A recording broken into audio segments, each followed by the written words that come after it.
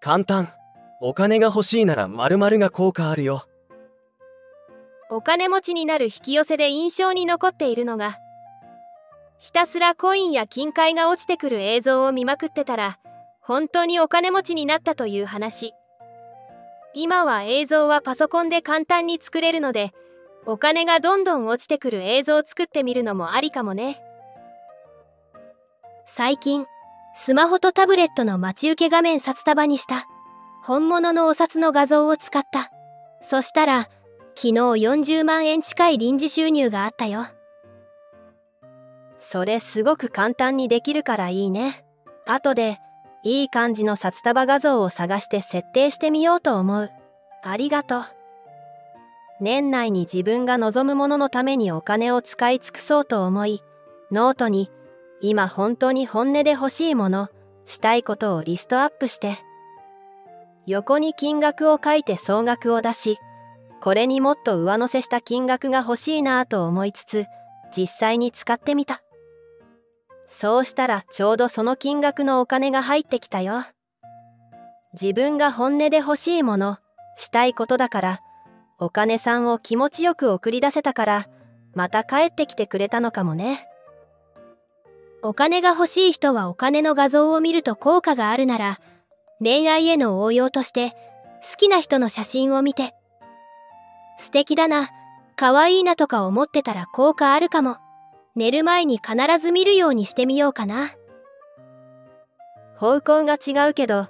私は沢尻エリカの顔が大好きだから彼女が表紙になってる雑誌を家に飾っていたら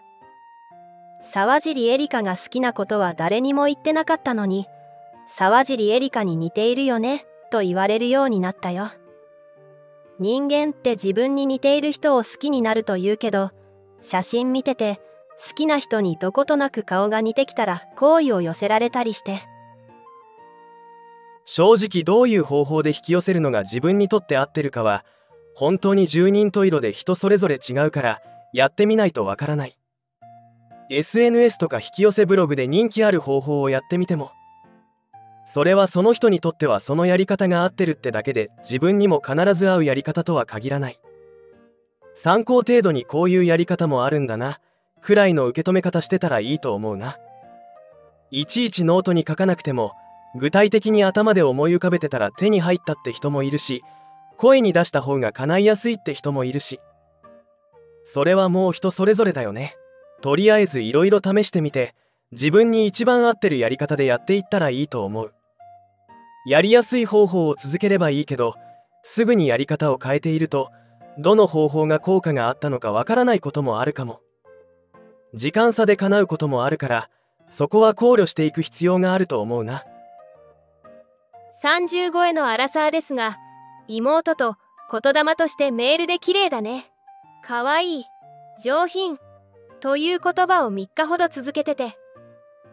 今日2人で歩いてたら外人とすれ違う時に「おおかわいいね beautiful」と言われました。ナンパとかだけじゃなくほんと褒めてくれる感じで外人さんってそういうことを気軽に言う人もいるんだろうけどタイミングがすごい。今までそんなこと言われたことないのにやっぱり自分で投げかけてることが減少化しているのかもしれないと思った出来事でした。私も慈愛のアファみたいなので自分に可愛いって言い聞かせてたら普段絶対言わないような人から可愛いってたくさん言われて嬉しかった。ちなみに家族からですが笑。イメージしたりなんだりと頑張ってやってきた人が報われないのを聞くと何なんだろうって思っちゃう。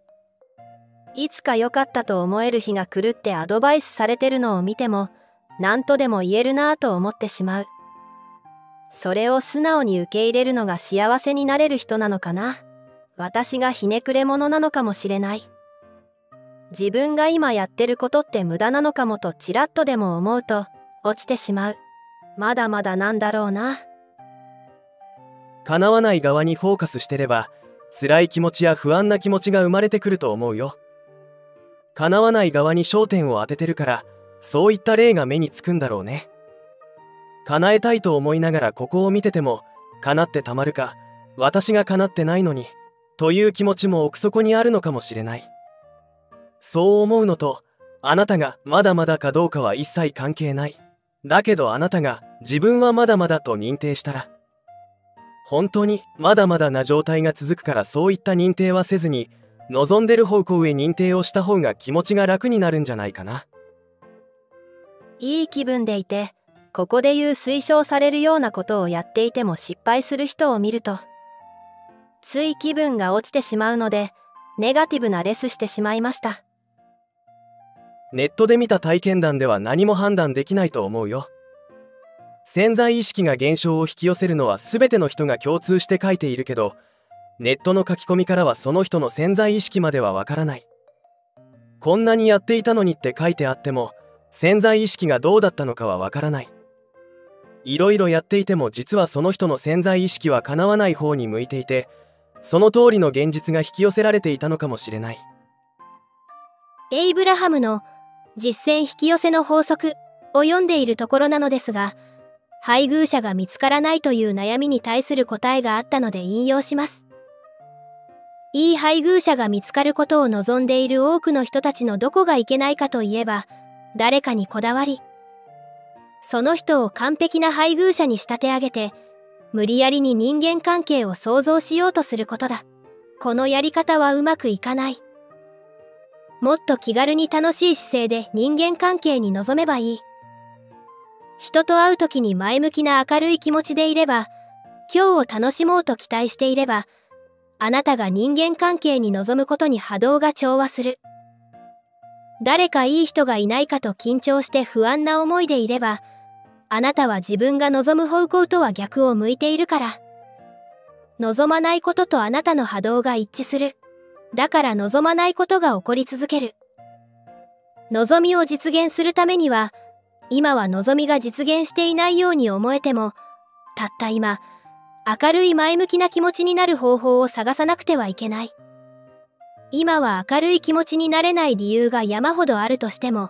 そんな理由は置いといて、気持ちを明るくする方法を探そう。